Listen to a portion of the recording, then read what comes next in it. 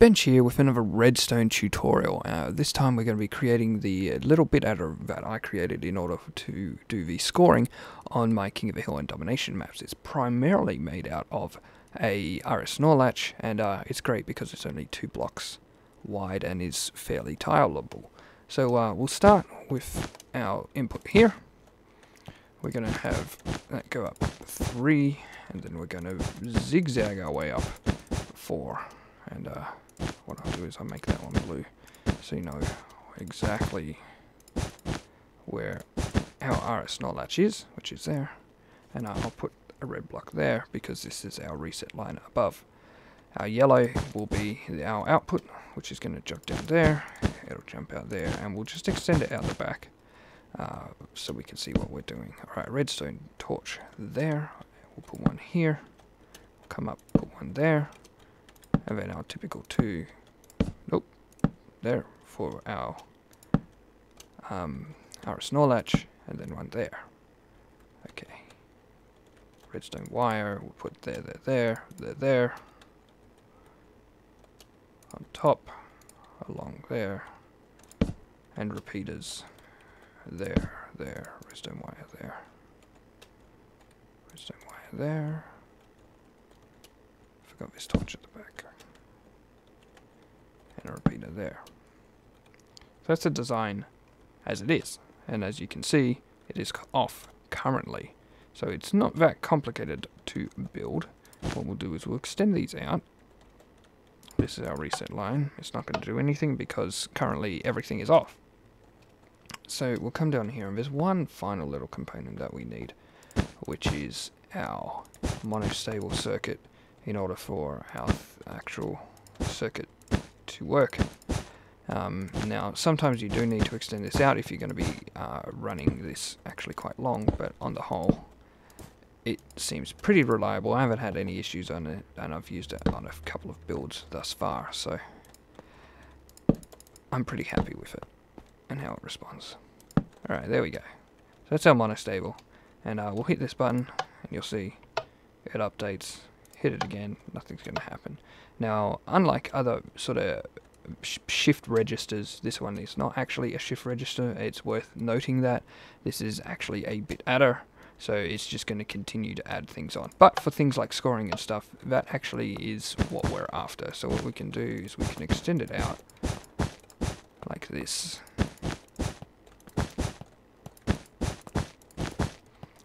And actually see how it responds in, uh, in sequential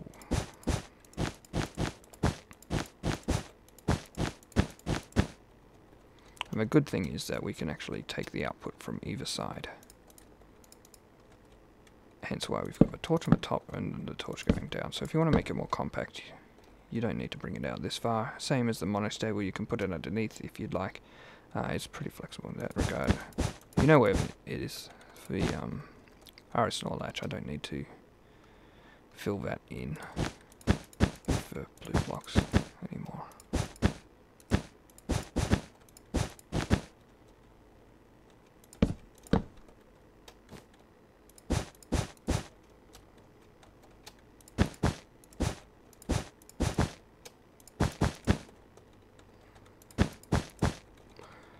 And the way this works is it's basically using an AND gate.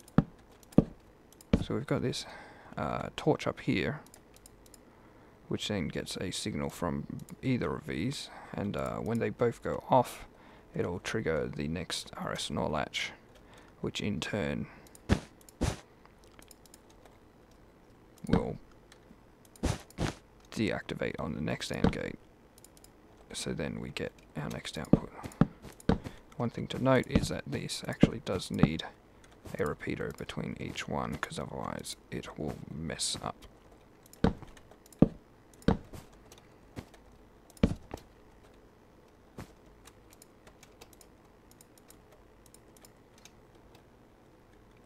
And final bit down here.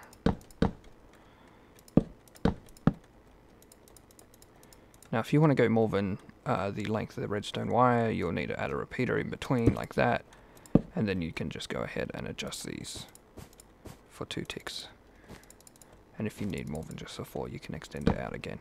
But for now, we don't need that. Alright, so we've got a couple of outputs there. I do believe we're missing one more. Is This side here.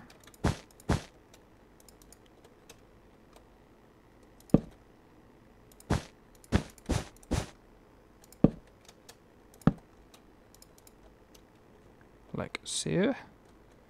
What we'll do is we'll hit our reset line, get everything reset, and I've clearly forgotten these torches here. There we go, now everything's off. So we'll stand here, and we'll start hitting this button here, and you'll see, okay, one, two, three, four. And that's our outputs. And we can reset it again there. And there you go. So it's nice and compact. It's pretty easy to build. It's not very resource intensive.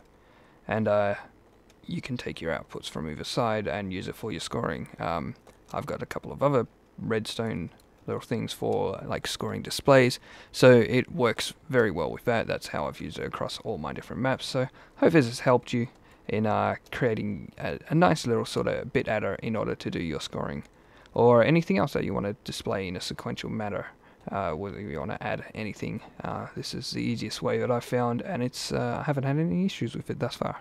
Alright, thanks for watching.